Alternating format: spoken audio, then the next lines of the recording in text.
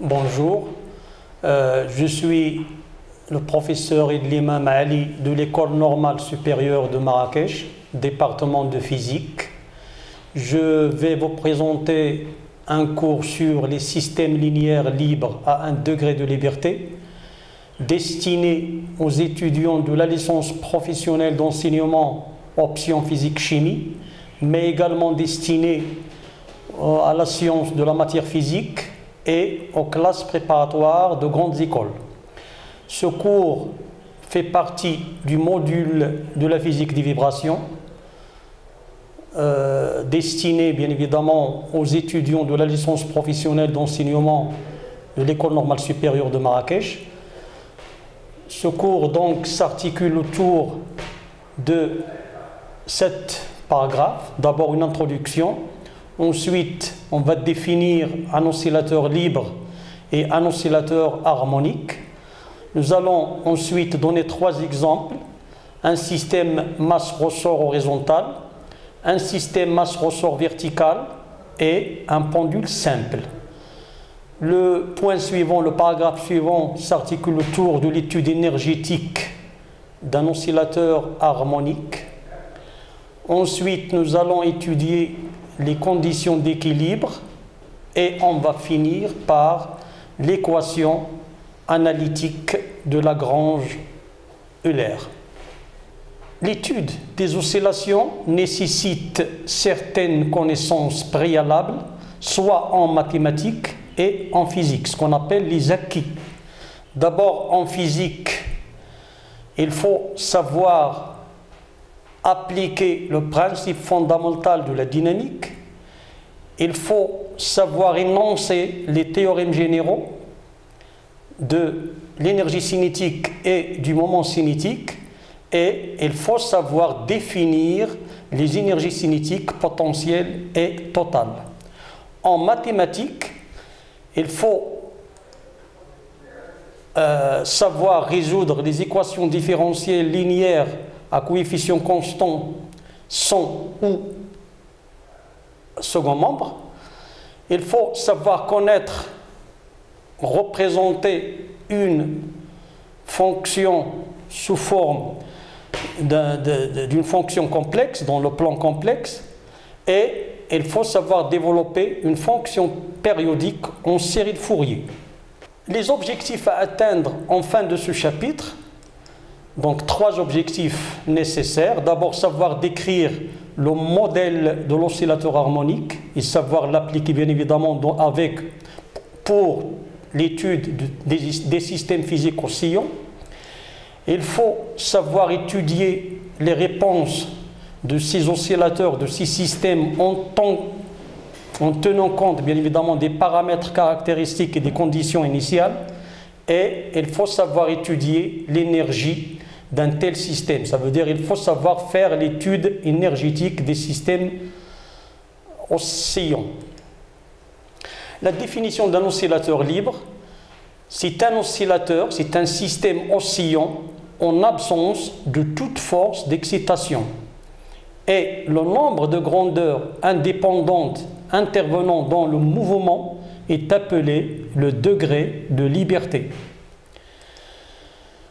Un oscillateur libre peut être, soit mécanique, soit électrique et soit acoustique. Un oscillateur harmonique, par définition, on l'appelle, euh, le, nom est destiné à un oscillateur qui, dès qu'il est, est écarté de sa position d'équilibre, d'une distance x pour un mouvement de translation ou d'un angle θ pour un mouvement de rotation, il est soumis à une force de rappel opposée et proportionnelle à l'écartement x ou θ. Cette force de rappel s'écrit bien évidemment F égale moins C fois la variable x ou θ. Bien évidemment, la constante C, la constante C est positive pour que la force soit opposée au mouvement bien évidemment, donc F égale moins C fois la variable X au θ. La forme des oscillations pour un oscillateur harmonique est sinusoïdale. l'excitation appliquée au système elle est très brève. Il faut que cette excitation disparaît automatiquement dès que l'oscillateur commence à osciller. Et pour un oscillateur harmonique, l'énergie totale du système se conserve au, cours du temps, bien évidemment. Nous allons maintenant voir trois exemples. Le premier exemple, c'est l'étude du système masse-ressort horizontal. Ce système est formé d'un ressort de reader K attaché à une masse M et déposé horizontalement sur un plancher P. L'étude de ce système se fait selon une base cartésienne exprime x du vecteur unitaire i. La tension du ressort appliqué sur la masse m s'écrit vectoriellement T égale moins K fois X fois le vecteur unitaire I. Le signe moins indique ce qu'on a dit tout à l'heure, c'est une force de rappel. Elle est opposée au mouvement. L'étude de ce système-là, on doit appliquer le principe fondamental de la dynamique. La deuxième loi de Newton s'écrit vectoriellement, somme des forces appliquées est égale à m fois l'accélération, l'accélération du corps m dans la base choisie. Les forces sont le poids P du corps, la réaction du plancher perpendiculaire au plan horizontal puisqu'il n'y a pas de frottement, et la force exercée par le ressort sur la masse. la somme de ces trois forces-là est égale à m fois l'accélération. En faisant la projection sur OX, nous obtenons P et R des projections nulles, F, la projection c'est moins K fois X, est égal à M fois D2X sur dt carré, c'est-à-dire l'accélération du corps M par rapport à la base cartésienne x'. Donc moins kx est égal à m fois x seconde, ce qui revient à écrire une équation différentielle x seconde plus k sur mx égale 0. C'est l'équation différentielle d'un oscillateur harmonique. C'est une équation différentielle du second ordre, linéaire, à coefficient constant, sans second membre. Pour le deuxième exemple, la même chose, on va étudier le même système, mais disposé verticalement. Donc le ressort de Reader K de longueur à vide L0 pour la première image. Ensuite, le même ressort auquel on a attaché la masse M pour la deuxième image. Donc la longueur à l'équilibre devient L équilibre. Le ressort s'allonge d'une longueur X. Et la troisième image, le même ressort mais en mouvement. On a attiré la masse vers le bas d'une longueur X et en mouvement. Donc nous allons faire des études de la deuxième image, c'est-à-dire à, l'équilibre, et en mouvement. Le principe fondamental de la dynamique appliqué à la masse est porté et projeté sur l'axe OX donne mx seconde est égal à mg moins k facteur de L moins L0, ça c'est en mouvement. On va remplacer L par L équilibre plus l'allongement qu'on a donné au ressort lorsqu'on l'a tiré vers le bas d'une longueur petite x, ça devient donc mx seconde égale mg moins kx plus équilibre moins L0. Ça devient donc en développement, en développant pardon, mx seconde égale mg moins kx moins k facteur de L équilibre moins L0. On va faire l'étude de la deuxième image en équilibre, ça donne mg moins k et l'équilibre moins L0 est égal à 0. Le premier principe, le, principe d'inertie, c'est-à-dire la première loi du Newton. Donc en, en comparant la deuxième équation à la première, ça va nous rester donc mx seconde égale moins kx. Et bien évidemment, on va retrouver la même équation différentielle que tout à l'heure, x seconde plus K sur M X égale 0. La même équation, donc l'équation différentielle d'ordre 2 à coefficient constant, son second membre. Le troisième exemple, c'est le pendule simple. Donc, et lorsqu'on a affaire à ce genre de corps, donc un corps en rotation autour d'un axe fixe, donc il est judicieux, bien évidemment, d'utiliser une base polaire ou bien la base de Freinet avec deux vecteurs unitaires UR et Uθ. Donc cette base, elle est rattachée au mobile dans, dans le mouvement de rotation. Donc vous regardez donc le corps, un pendule simple, donc un fil, une masse attachée à un fil de longueur L. Donc avant d'étudier ce cours-là, c'est-à-dire avant de faire euh, le principe fondamental de la dynamique, nous allons d'abord faire quelques rappels, les rappels que vous avez déjà vus. Donc OM est égal à L fois UR. Pour déterminer la vitesse, on va faire la dérivée de OM par rapport au temps. V égale DOM sur dt, c'est-à-dire D de L UR sur dt. Donc, vous avez L fois UR, donc la dérivée, donc la somme des deux dérivés, donc c'est dl sur dt fois UR plus L d de UR sur dt. Or, UR, c'est un vecteur unitaire tournant, ce n'est pas fixe, donc sa dérivée, ça donne θ point Uθ. Donc nous allons trouver donc V égale L point UR plus L θ point Uθ. La même chose pour le vecteur accélération. Le vecteur accélération, ce n'est rien d'autre que la dérivée de la vitesse par rapport au temps.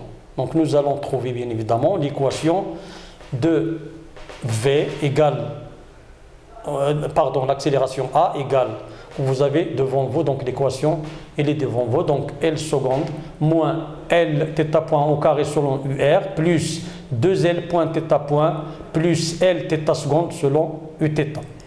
Donc, après avoir fait ces rappels-là, nous allons maintenant faire l'étude de pendule simple en projetant bien évidemment les forces qui s'exercent sur la masse, bien évidemment sur la base choisie UR, Uθ. Les deux forces qui s'exercent sur la masse, c'est le poids et la tension du fil T. Bon.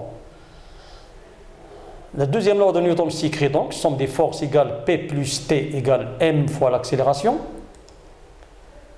On va projeter ces deux forces-là sur UR et sur Uθ. Sur UR, donc, nous aurons la projection de poids, c'est mg cos θ, et la projection de t, c'est moins t, égale moins m fois l θ point au carré. Sur Uθ, moins la projection de p donne moins mg sinus θ, la projection de t est égale à 0 puisque perpendiculaire à Uθ égale ml fois θ seconde. Bien évidemment, nous allons prendre l'équation sur Uθ qui est écrite donc moins mg sinus θ égale ml θ seconde. Ça va nous donner donc θ seconde plus g sur L sinus θ égale 0. Alors, or, cette équation-là, c'est une équation différentielle d'ordre 2, mais elle n'est pas linéaire. Pour qu'elle soit linéaire, il faut que l'angle θ soit inférieur, bien évidemment, à une valeur bien déterminée. C'est-à-dire, il faut que sinus θ soit égal à θ pour qu'il soit linéaire. Quand est-ce que sinus θ est égal à θ Lorsque θ est très inférieur à 1 radian en, degrés, donc θ doit être inférieur généralement à 14 degrés. Dans ce cas-là, nous obtenons l'équation différentielle de second ordre pour un pendule en rotation autour d'un axe fixe, θ seconde plus g sur L θ égale 0. Cette équation-là, elle est de type Q seconde plus oméga 0 carré Q égale 0. Q peut-être c'est une variable, il peut être soit une variable de translation x ou de rotation θ en mécanique, mais ça peut aussi être soit un courant, une tension ou une charge en électricité. Donc c'est une équation différentielle avec oméga 0, la pulsation propre, on l'appelle la pulsation propre car elle ne dépend que des grandeurs propres de l'oscillateur. L'équation horaire, solution de l'équation différentielle de l'oscillateur harmonique, elle est de, la forme sinusoïdale Q de t égale A sinus oméga 0t plus phi. A, c'est l'amplitude du mouvement. Oméga 0 qui est égal à 2pi sur T0, c'est la pulsation propre du système. Et phi, c'est la phase à l'origine, c'est-à-dire lorsque t est égal à 0. Quatre cas se présentent dans ce cas-là pour les études des oscillateurs. Le premier cas, donc pour avec les conditions les quatre situations possibles, bien évidemment avec les conditions initiales sont soit phi égale 0 et l'amplitude de mouvement à l'instant t égale 0 égale 0, phi égale pi sur 2, phi égale pi ou phi égale moins pi sur 2. Donc ça dépend des conditions initiales, c'est-à-dire la situation du système à l'instant t est égale à 0. Le point suivant, c'est l'étude énergétique de l'oscillateur harmonique. L'énergie totale, ou ce qui s'appelle aussi l'énergie mécanique d'un oscillateur harmonique, est la somme de ses énergies cinétiques et de ses énergies potentielles. Bon, l'oscillateur harmonique est soumis à une force conservative.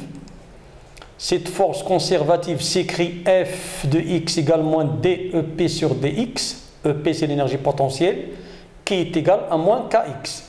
À ce moment-là, donc, nous allons déterminer, en intégrant, nous allons déterminer l'énergie potentielle, EP égale 1 demi kx carré plus une constante. L'énergie totale du système, c'est l'énergie cinétique plus l'énergie potentielle. Les énergies potentielles sont de trois types. Donc d'abord, l'énergie potentielle de pesanteur, qu'on a appelée EPP. Ça peut être positive ou négative selon là où on a choisi la référentielle des énergies potentielles. Ensuite, nous avons une énergie potentielle élastique dans les cas des ressorts. Et enfin, nous avons une énergie potentielle de torsion si nous avons un fil de torsion. Pour l'énergie cinétique, deux types des énergies cinétiques. Une énergie cinétique de translation, qui est égale à 1 demi m fois v au carré, ou bien une énergie cinétique de rotation, qui est égale à 1 demi g delta, θ point au carré. On a dit tout à l'heure que l'énergie totale est conservé dans le cas des oscillateurs harmoniques puisqu'il n'y a pas de frottement. Qu'est-ce que ça veut dire l'énergie totale conservée? Ça veut dire que la dérivée de l'énergie totale par rapport au temps est égale à zéro. Cette équation de conservation va nous conduire à déterminer, bien évidemment, le mouvement du système, bien évidemment, harmonique. La conservation de l'énergie totale et soit en fonction de la variable x ou θ bien évidemment, soit en fonction du temps. La courbe que vous voyez à gauche, donc l'énergie en fonction de la variable x, en rouge, les variations, ce sont les variations de l'énergie potentielle, courbe en bleu, et les variations de l'énergie cinétique courbe en rouge, et en noir, c'est la somme des deux OP plus EC qui, qui donne une droite puisque c'est constant. La variation de l'énergie en fonction du temps, la même chose, vous avez donc la courbe en bleu, c'est l'énergie potentielle, la courbe en rouge, c'est l'énergie cinétique, et bien évidemment, la somme des deux nous donne une énergie totale conservée en noir E. La condition d'équilibre, pour la condition d'équilibre, généralement, c'est qu'il n'existe pas de force qui s'exerce sur le système, donc F est égal à 0. Étant donné que F est une force qui dérive d'un potentiel, F égale moins DEP sur DX, donc si F est égal à 0, c'est que la variation de l'énergie potentielle par rapport à la variable est nulle. Donc la condition d'équilibre s'écrit, donc D de EP sur DX pour x égale x0, c'est-à-dire là où nous avons l'équilibre, est nul. C'est ce qu'on appelle la condition d'équilibre. Bon, pour les équilibres d'un système, nous avons deux types d'équilibre. L'équilibre est soit stable, dans ce cas-là, la dérivée seconde de l'énergie potentielle par rapport à x carré pour x égale à x0 est positive, on l'appelle l'équilibre stable, et cette condition est aussi la condition d'oscillation. Pour qu'il y ait oscillation, il faut que cette condition se réalise. La dérivée seconde par rapport à l'énergie potentielle sur dx carré doit être positive. Pour un équilibre instable, la dérivée seconde de l'énergie potentielle par rapport à la variable x égale x0, x au carré, est négative. Donc, si c'est négative, on parle d'un équilibre instable. On va finir par une équation très importante dans l'étude de la physique des vibrations généralement, ce qu'on appelle l'équation de Lagrange-Euler. Cette équation, c'est l'équation fondamentale de la mécanique analytique. Elle nous permet donc d'étudier les systèmes, de, déterminer les équations différentielles des systèmes, bien évidemment, à partir d'un principe qui s'appelle le principe variationnel. Ce principe-là donc s'écrit, bien évidemment, sous cette équation qui s'appelle l'équation de Lagrange-Euler.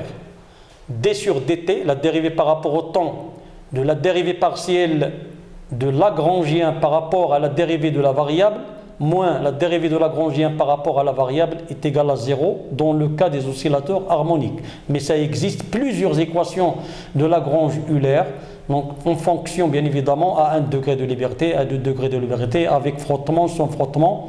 Donc chaque équation que nous allons voir bien évidemment dans les chapitres à suivre. Cette équation différentielle, donc, cette équation de Lagrange-Euler nous permet de déterminer l'équation du mouvement d'une façon très simple.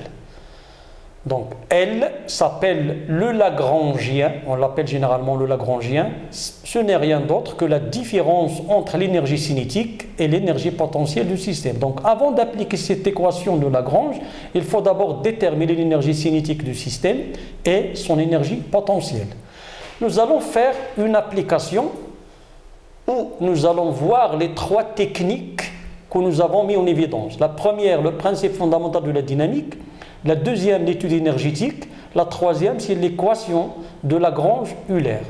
Donc le système, il est formé d'un ressort disposé verticalement sur lequel donc, on a posé une masse petit m. Donc à l'équilibre, lorsqu'on dépose la masse sur le ressort, donc il se comprime d'une longueur Z0. En mouvement, donc lorsqu'on comprime M d'une longueur Z, donc elle se met en mouvement et nous allons voir donc, nous allons essayer de déterminer l'équation différentielle, bien évidemment, en utilisant le principe fondamental de la dynamique, en utilisant l'étude énergétique et en utilisant bien évidemment l'équation de Lagrange-Euler. Premièrement, le principe fondamental de la dynamique. Donc, vous avez le système, on va faire l'étude à l'équilibre et en mouvement. Deux forces s'exercent sur la masse, le poids et la tension T du ressort.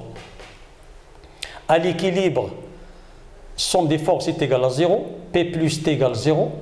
En faisant la projection selon l'axe descendant ZZ0, nous obtenons donc mg moins KZ0 est nul, ce qu'on appelle la condition d'équilibre. En mouvement, la somme des forces est égale à m fois l'accélération, toujours la projection sur l'axe orienté vers le bas z, z, z, z, z', nous obtenons donc mg moins kz plus z0 égale m fois l'accélération. L'accélération, c'est d de z sur dt carré, qu'on a appelé z seconde. Donc cette équation-là, on la en la développant et en éliminant la condition d'équilibre, nous obtenons z seconde plus k sur mz égale 0. C'est l'équation différentielle de second ordre à coefficient constant sans second membre. Donc voilà donc l'équation différentielle du mouvement avec l'application du principe fondamental de la dynamique. Nous allons voir est-ce qu'on va trouver la même équation différentielle en utilisant bien évidemment l'étude énergétique. Ça veut dire donc on va définir d'abord l'énergie cinétique, EC, qui est égale à 1,5 mv au carré. V c'est quoi? C'est la dérivée de z par rapport au temps qu'on a appelé z point. Donc EC égale 1,5 z point au carré.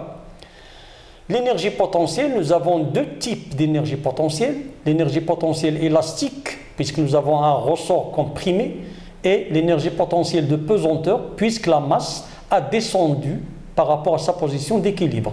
On choisit bien évidemment la référence de l'énergie potentielle lorsque le ressort n'est pas déformé. Donc, l'énergie potentielle de pesanteur s'écrit EPP égale moins mg fois la déformation Z plus Z0. Pourquoi le signe moins? Parce que la masse a descendu au-dessous de la position de référence qu'on a choisie. Donc l'énergie potentielle au-dessous, c'est négatif, en dessus, c'est positif.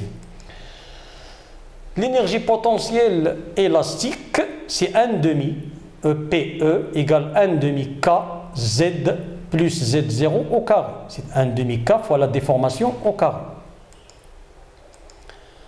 Bon, l'énergie potentielle, donc maintenant c'est la somme des deux, moins mgz plus z0 plus 1 demi k z plus z0 au carré.